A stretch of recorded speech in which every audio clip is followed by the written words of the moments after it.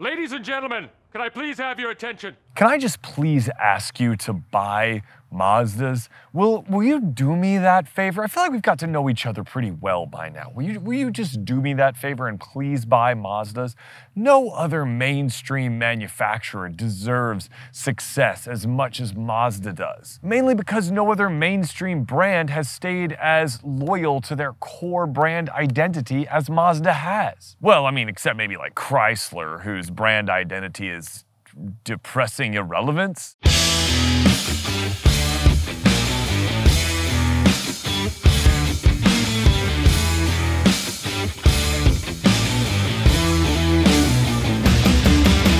What's going on everyone? Jax here, and today we have the 2020 Mazda CX-30.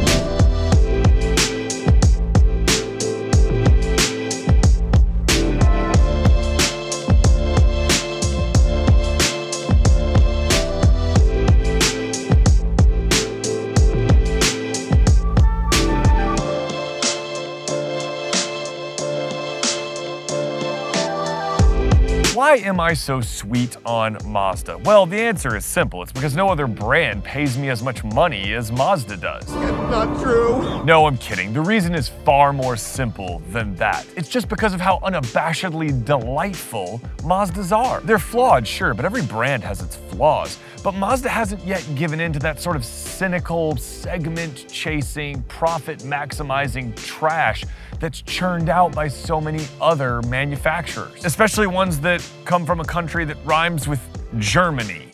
The Germans. Has this hurt Mazda's overall profits over the years? Well, yeah, sure, probably, but they're a really small company trying to compete with corporate giants like General Motors and Toyota and Volkswagen. So they have to be really thoughtful with their engineering because their pockets and resources just aren't as deep. They can't as easily develop a new vehicle, so they sometimes have to adapt existing ones.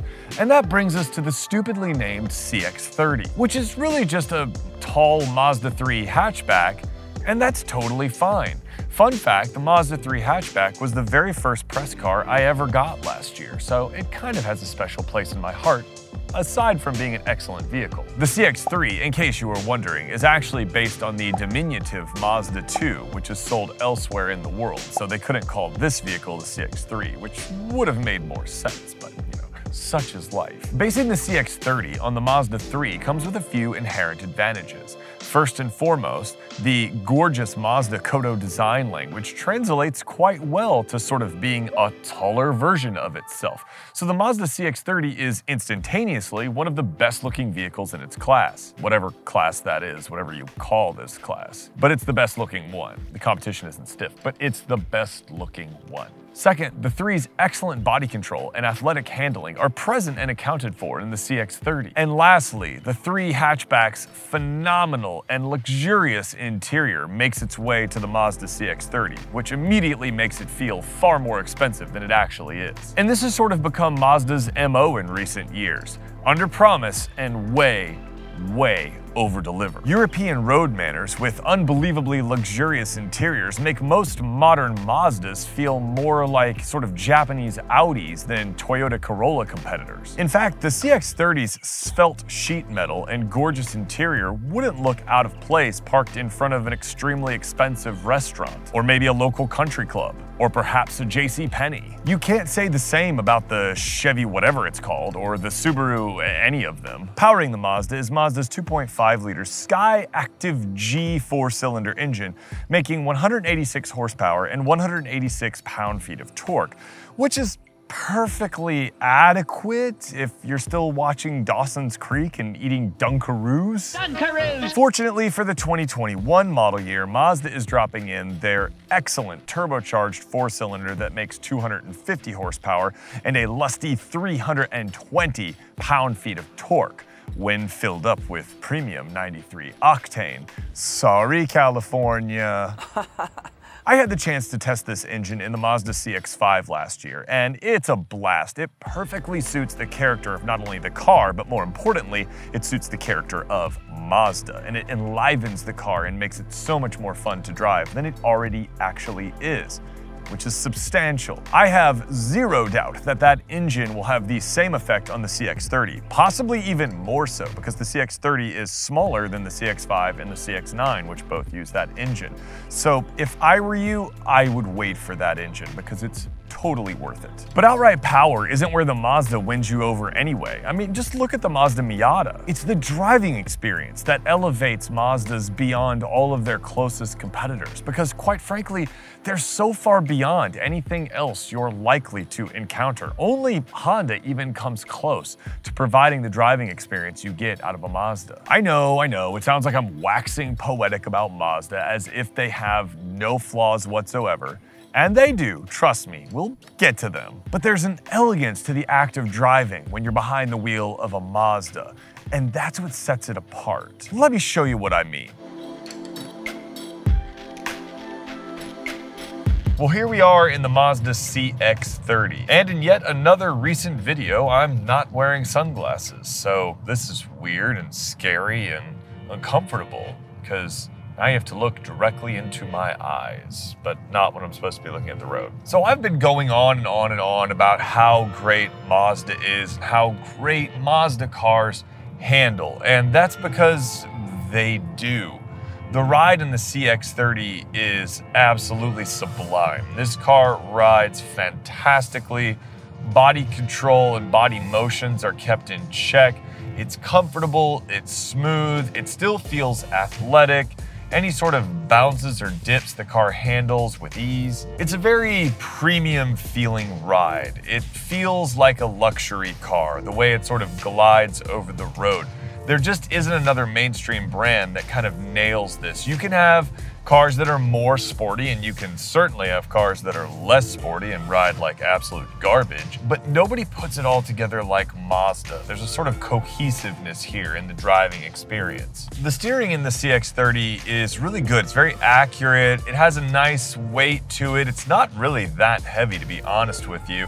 The steering wheel itself, too, feels great. It's, it's almost delicate. It's got nice grips at 10 and 2, but it's not like one of those big kind of artificially fat steering wheels like you're finding in sort of modern BMWs. That's sort of like, I'm sporty because I'm so fat, I'm like a race car. And you're like, yeah, but no, you're not. And this isn't a race car, this is a small SUV ish tall hatch. So I think the steering wheel feels fantastic. The leather on it's nice as well. But there's an ease to driving a Mazda thanks to that good steering. It's so accurate that you just need minimal adjustments and the car just tracks exactly where you want it. Now, when you get into it a little bit, there is some understeer. I think Mazda's all-wheel drive system is actually pretty good and it sort of helps to mitigate that feeling a little bit.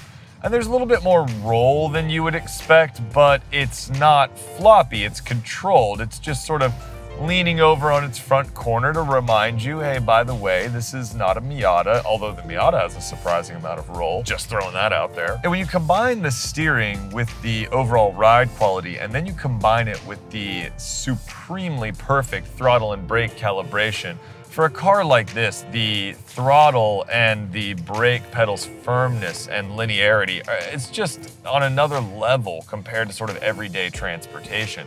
I've driven a lot of sort of small SUVs over the past couple of months. And one of the things that stands out to me is how sort of grabby some of their brakes can be, especially on initial bite or as you approach the stop. And the Mazda's brake pedal is perfectly firm, perfectly linear, feels really good, and it always has the sort of same effect. You just know how much braking to dial in to bring yourself to a perfectly smooth stop. I know that sounds like a weird thing to praise, but it's totally true. We're on the handling road, by the way, in case you couldn't tell.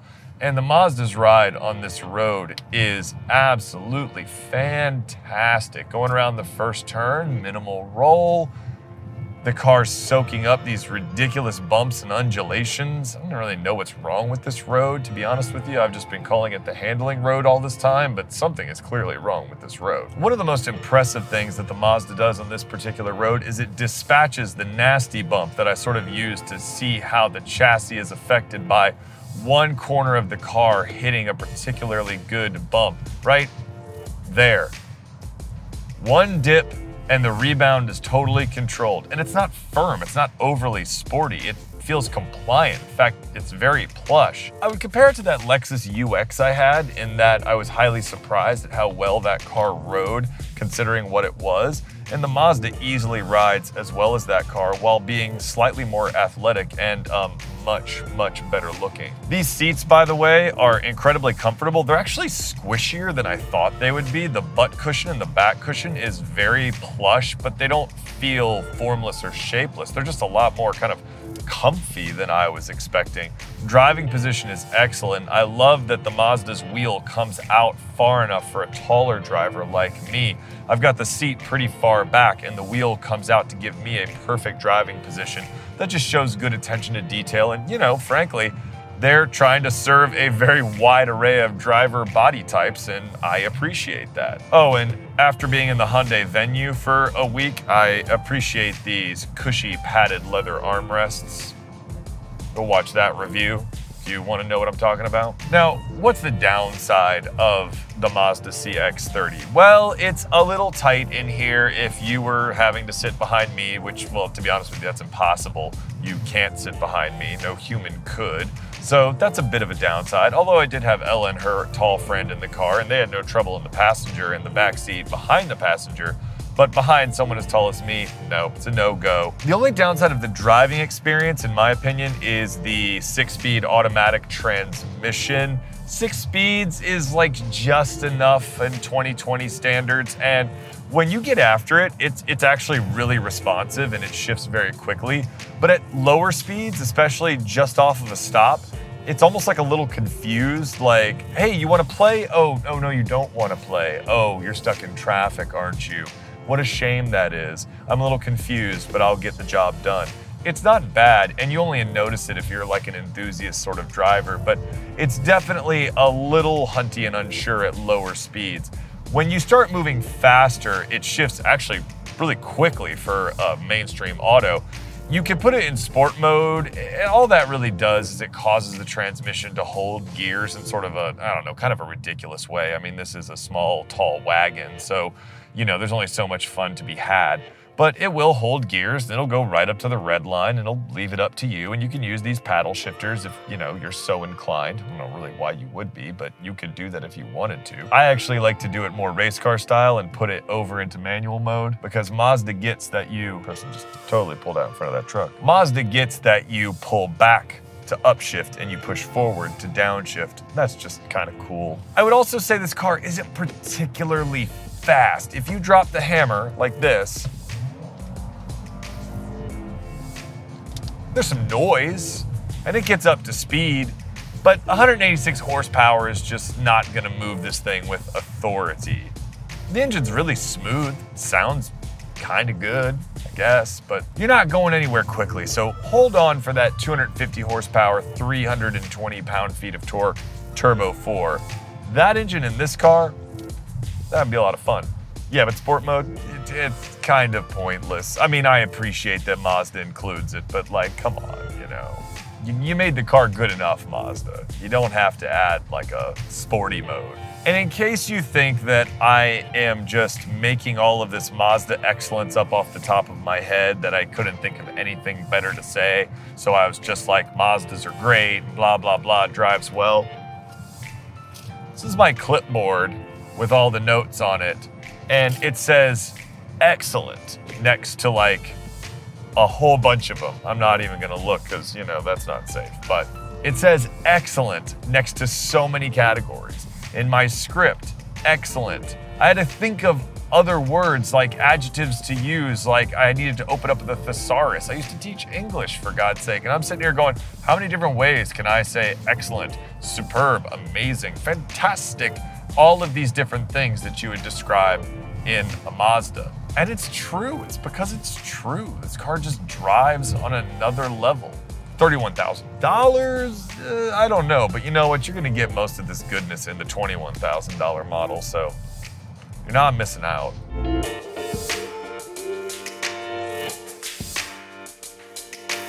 If there's one area where Mazda is unparalleled among mainstream automakers, it's in the interior, both in terms of design and overall material quality. Mazda ditches consoles festooned with buttons made out of cheap-feeling plastic and chintzy cliche designs in favor of rich feeling leather and fake leather, soft touch plastics everywhere, and simple and intuitive infotainment controls. The gauges are easy to read, the infotainment is comprehensive, and this premium model comes with all of Mazda's safety features, including lane keep assist, radar cruise control, blind spot monitoring, rear cross traffic alert, all of the things that make Mazda's top safety picks. Sure, you could argue that $31,670 is a lot of money for a small SUV, but to get this many options combined with this quality of materials, combined with this stellar of a driving experience, you would have to spend far more money to get something much uglier like a Audi Q3. If there's a downside to this interior, it's certainly not in the richness and opulence of the materials and designs.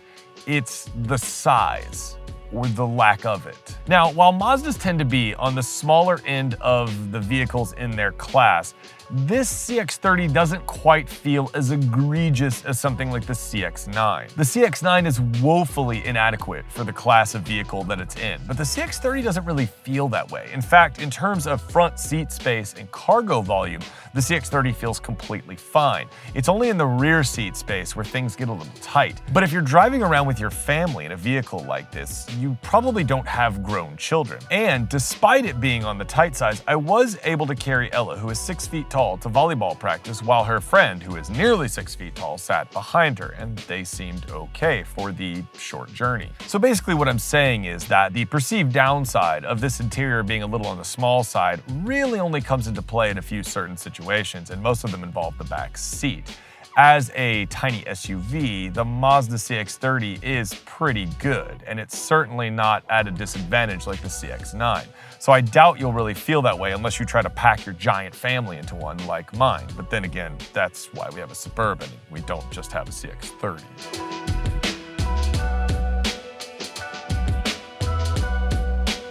So should you buy a CX-30? Um, especially because I just said that this model costs 31 grand? Well, let's break this down a bit because I think for some of you guys, this vehicle could be absolutely perfect. I mean, to be honest with you, I'm strongly considering getting a CX-30 for Ella, maybe a used one as a first car, even though she said she doesn't like it because she doesn't like anything that's not a Wrangler. But I honestly think the CX-30 could really suit some of you. So let's take a look. The front wheel drive base model of the CX-30 actually costs right around 22 grand, which is a fantastic deal. For context, the Hyundai Venue that I just tested cost 23 grand. And the Mazda CX-30 is a better vehicle in literally every single way imaginable.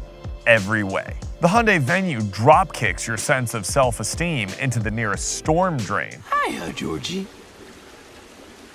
Well, the Mazda CX-30 flatters you and makes you feel good every time you're behind the wheel. Kind of like you're in on some kind of automotive secret that nobody else knows about, and that's the magic of Mazda. Now, when you start adding comfort and convenience options like this model's LED headlights, rain-sensing wipers, moonroof, power tailgate, heated seats, ability to fly, just kidding, one of those was fake. Well, then the price goes up, of course, but I would argue the price goes up appropriately. For comparison, the slightly smaller Lexus UX Hybrid that I tested a few months ago starts at 37 grand. It certainly doesn't look any better than the Mazda. It frankly looks worse than the Mazda. It doesn't drive any better than the Mazda. So unless you are desperate to have a luxury badge on the front end of your car, it doesn't really make any sense why you would choose something like the Lexus UX over the Mazda CX-30. Why would you pay more for a badge when the CX-30 gives you all of the excellence for far less, and you can even get into one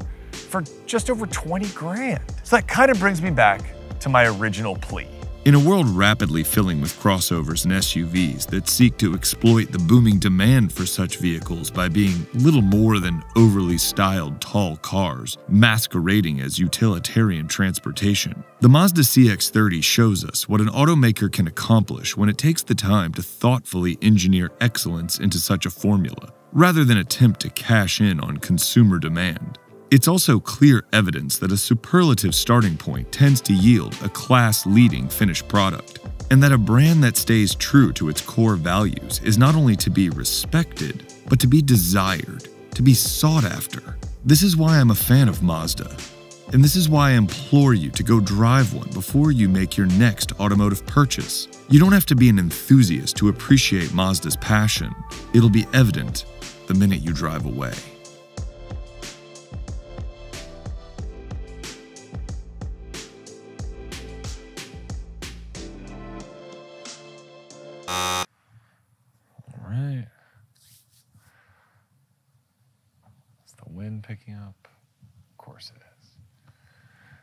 Why not? It's 2020.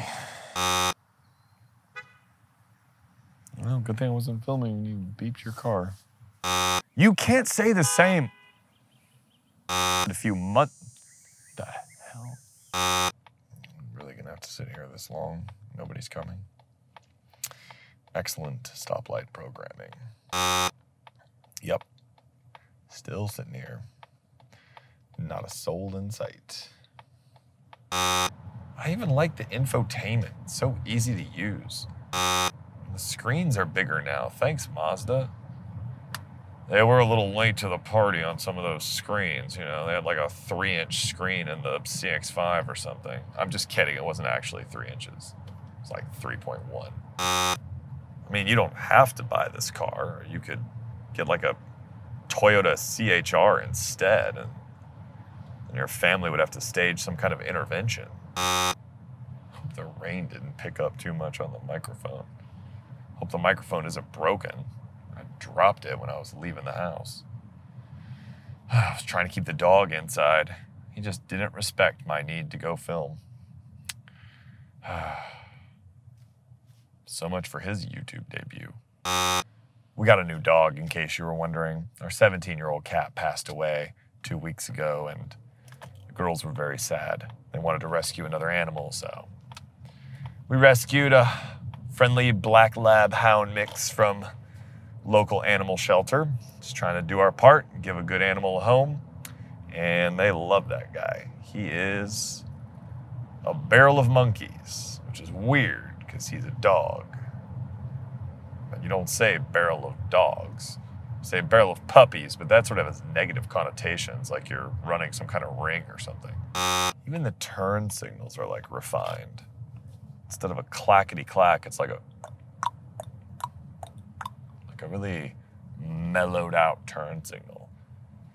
And the turn signals blink and then fade away. It's like they just couldn't help themselves. God, I want Mazda to win. Buy a freaking Mazda. If you don't buy a Mazda, I'm going to come to your house and punch you in the throat.